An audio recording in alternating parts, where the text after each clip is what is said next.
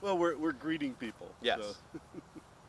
Good morning, Chris. Morning, Les. I'm Les Thomas of Maximum Win, And I'm Chris Merritt of Beyond Strength Performance. and we're going to have a sit, talk about business and the Talo Freedom Seat. Sounds good.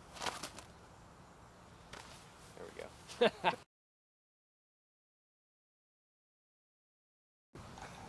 So the, the other day you were talking about when you started your business, something that inspired you to do that. Maybe you could talk a little bit about that. I have worked for, I, I've been a personal trainer, strength coach, whatever you want to say, uh, for 15 years now.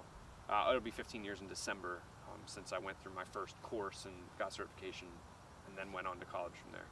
Uh, worked in a number of different settings, and everywhere that I worked, um, don't know, I, I, I had my opinions of how I thought things could be done better.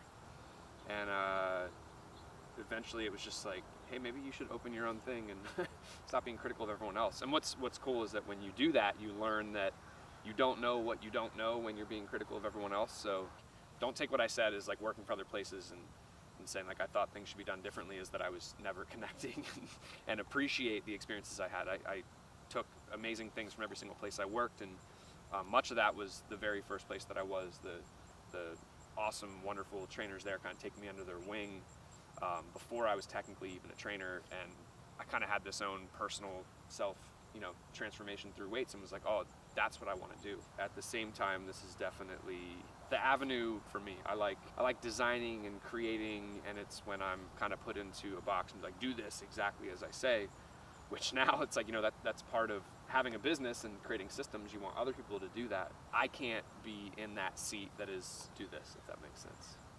I knew that at a really young age. Um, I think, and I don't remember exactly like, like my mom would ever watch that. No, it wasn't that. But it was a really young age that I wasn't a bad student, but I wasn't the best student. I had this odd awareness of I'll do this and I'll be fine. Like I'm not going to obsess over the rest of it, and didn't really care for school too much.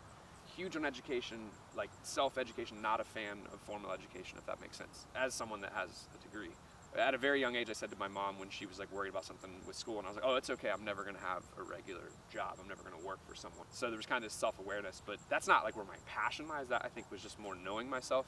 But my passion lies, and, and ultimately why we have Beyond Strength Performance is more in finding like a self-transformation through weight training and wanting to share that with others, which is what ultimately led me to get my first certification. Decided to switch to go exercise science, and as the people say, the rest is history.